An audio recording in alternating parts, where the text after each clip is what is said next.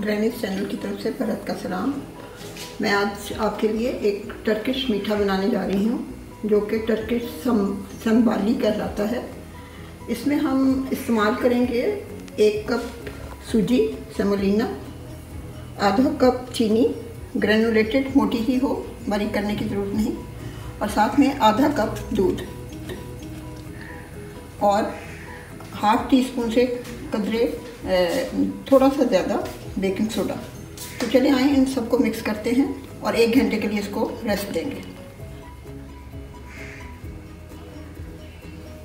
ये एक कप सूजी। जनरेटेड आधा कप चीनी। आधा कप दूध। और हाफ़ टी स्पून से कतरे, थोड़ा सा ज़्यादा बेकिंग सोडा। अब हम इन सबको अच्छी तरह से मिक्स करेंगे।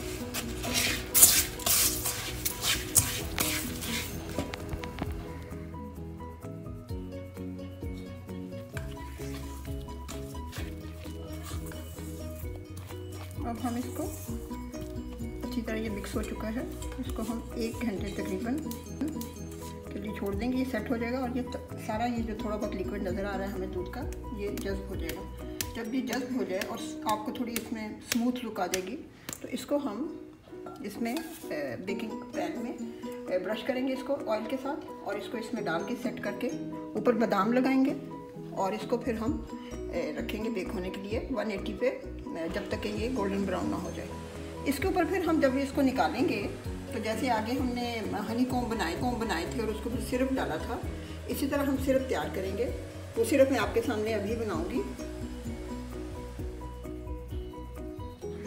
अब हम टर्की संभालने के लिए सिरप बनाएँगे, जिसमें कि हम वैसे रेसिपी जो है वो एक कप चीनी है, लेकिन मैं तकरीबन इतनी ले रही हूँ, क्योंकि फिर बहुत मीठा हो जाता है, अगर किसी को बहुत मीठा पसंद है तो वो पूरा कप भी इस्तेमाल कर सकता है। तो हम एक कप चीनी और इसमें डेढ़ कप पानी डालेंगे और इसको चीनी हल होने तक उबालेंगे। उसके बाद हम इसको 15 मिनट तक हल्की आँच पर पकने देंगे और जब उसके बाद उतारने से पहले हम इसमें आधा गेहूँ का रस इस्तेमाल करेंगे और फिर इसको हम जख लेंगे, क्योंकि थोड़ा सा उसमें नींबू का टेस्ट आना चाहिए। अगर आपको महसूस हो कि नींबू का नींबू का टेस्ट नहीं आया तो फिर आपको थोड़ा सा और यूज़ कर सकते हैं।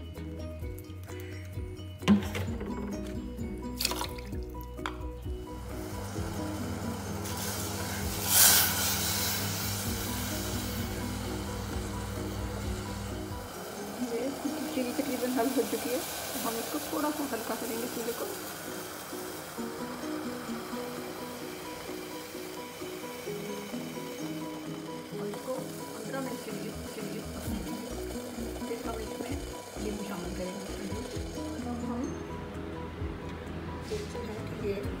हमारा जो बैटर है, वो तैयार हो चुका है।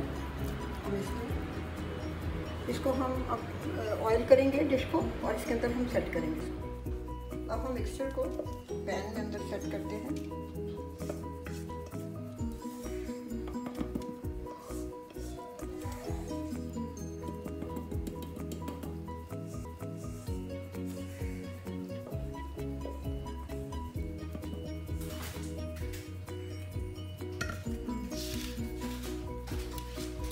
पैन का साइज़ जो है उसके मुताबिक इसकी मोटाई बनेगी। आप अगर इससे थोड़ा मोटा रखना चाहते हैं तो पैर छोटा वाला इस्तेमाल करें।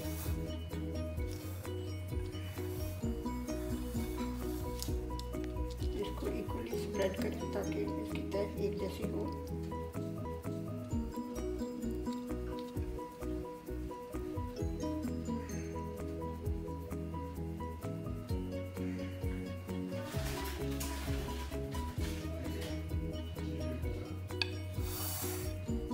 अब हम इस पर कट्स लगा के कोई सा भी डिज़ाइन आप कर सकते हैं अपने पसंद का।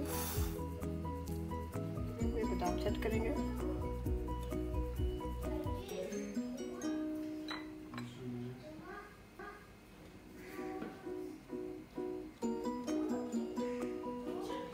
गोल्डन ब्राउन होने तक हम इसको बेक करेंगे। फिर बेक होने के बाद हम इसको देखते हैं। ये गोल्डन ब्राउन हो चुकी है। और इसको आप नीचे से भी थोड़ा सा देखेंगे कि थोड़ा कलर आ जाए। तो अब ये तैयार है। अच्छा इसको हमने इस गर्म पे ही जो सिरप है, हमने तैयार किया हो, उसको उंडेल को उंडेलना है।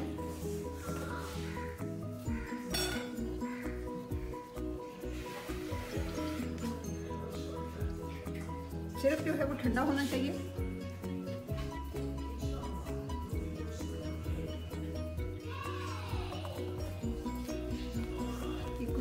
हर जगह